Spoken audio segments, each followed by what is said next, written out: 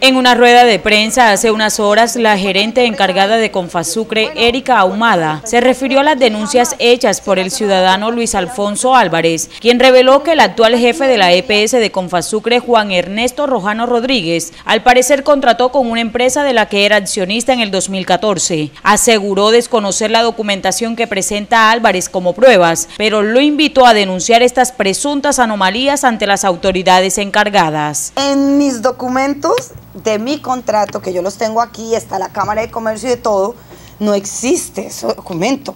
Pero le dije, si existe, y se lo dije, creo que lo dije a quien me haya entrevistado, le dije, por favor, que me lo traigan. Es más, si eso pasó, está en la obligación de denunciar. Que denuncie. Porque yo no puedo permitir eso. Y si eso ocurrió, y lo dije también en los medios, yo tomaré las acciones, tanto administrativas como penales, ilegales, porque no duden hacerlo porque es que yo, uno, no voy a permitir ni que él ni que nadie, y por eso uno no puede juzgar a la gente hasta que no haya una evidencia. Porque si aquí me han falsificado los documentos del revisor, yo no sé si me entiendes, yo tengo que, tiene que haber un proceso. De igual forma aseguró que sí cuenta con un manual de contratación. Telenoticias para estar bien informado.